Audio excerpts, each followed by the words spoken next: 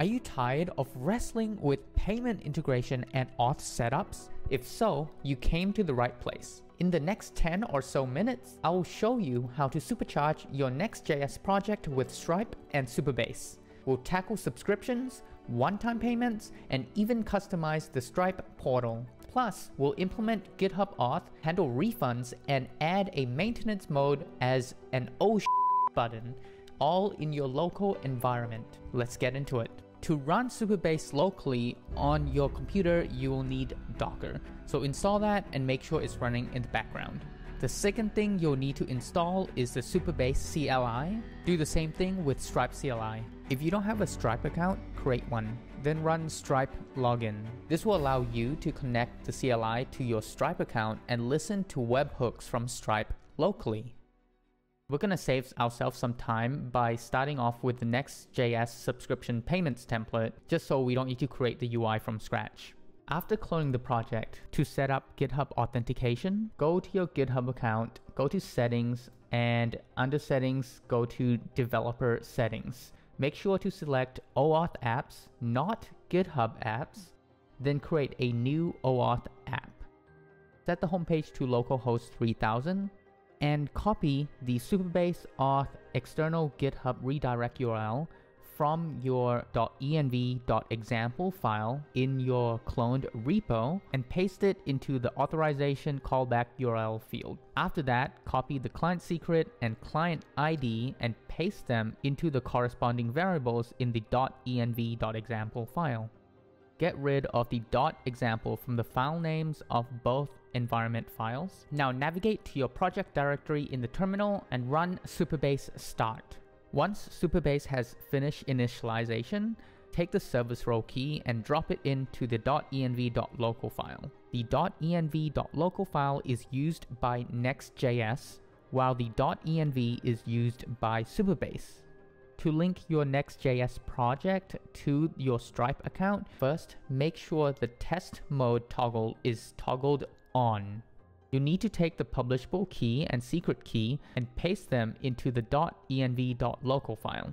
To get our Stripe webhook secret, run Stripe login in your terminal if you haven't done so already. You'll then want to run bun stripe listen. You can use any package manager you like, it doesn't have to be bun.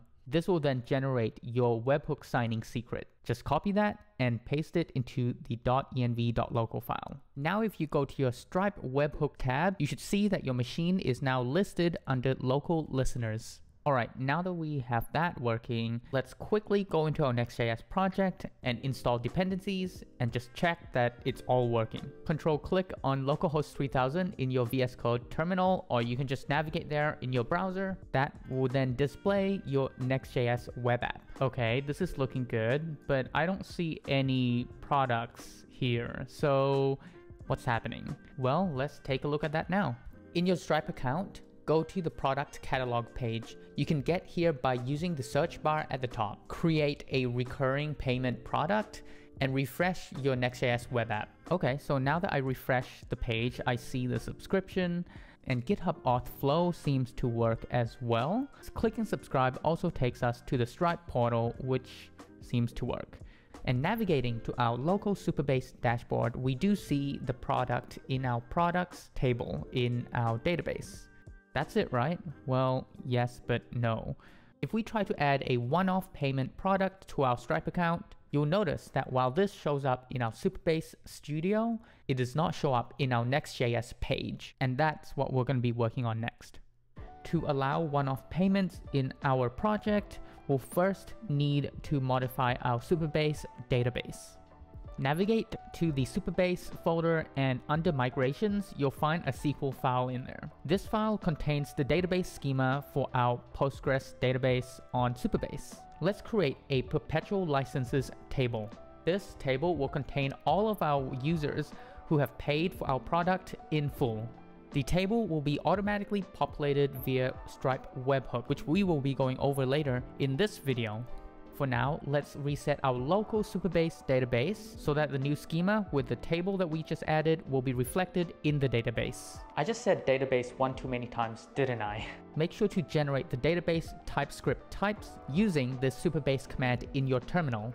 This will overwrite the type file and make sure that the perpetual license table will be added as a type. After generating the types, you may find that there is a linting error in admin.ts file under the utils and supabase folder. You can fix this by adding description and metadata, setting both to null since we don't really need it in this tutorial. Alright, let's make our perpetual license show up on our Next.js pricing page. First, navigate to util supabase queries.ts file. In this file, we're going to add a function called getPerpetual. And what this function does, it'll return the row that matches the user's ID in the perpetual license table, allowing us to check whether the user has perpetual license or not, as well as retrieving any other relevant data in that table. Alright, now that we have this function, where do we use it? Let's go to our page.tsx file at the root of our apps directory and we're going to import it as well as call the function in the promise array and set it as the property of the pricing element. Don't worry if you see linting error, we're just about to modify our pricing component to take into account the perpetual license. Navigate to the pricing component tsx file and add the type perpetual license. This references the generated types that we generated using the Supabase CLI earlier in the video. Next, add perpetual to props, allowing us to access perpetual licenses that was passed in earlier. Modify the billing interval so it can only be set to either recurring or one time, and specify the default state value to recurring. At this point, you'll probably have a bunch of linting errors related to billing interval. Don't worry, we'll get into that in just a bit. Create a function inside the pricing component called getButtonText. This function will return the appropriate text depending on whether user has a perpetual license, subscription, or whether the user is viewing monthly or lifetime billing. Next, we want to make sure that if the button text is manage, we would redirect the user to the Stripe portal instead of the payment page. Now let's go and fix the rest of the billing interval errors.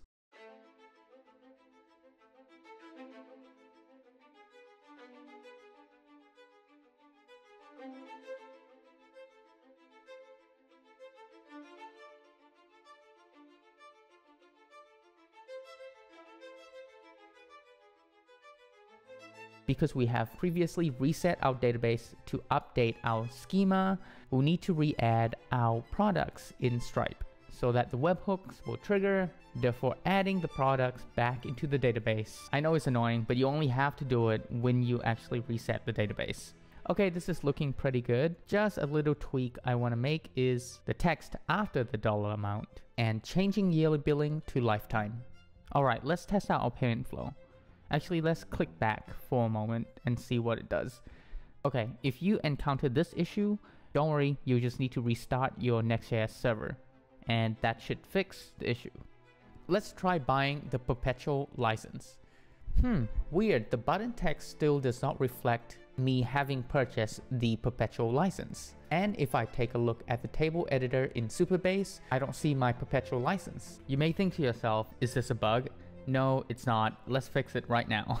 Go to the admin.ts file under utils supabase folder. We're going to be adding two functions here. The first one being add perpetual license. What this function is going to do is it's going to insert user's perpetual license into the perpetual license table. We will also create a corresponding remove perpetual license function in the case that we make refunds to our users. Export both functions and go to webhooks route I'm going to be adding charge refunded to relevant events, as well as importing the two functions that we just created.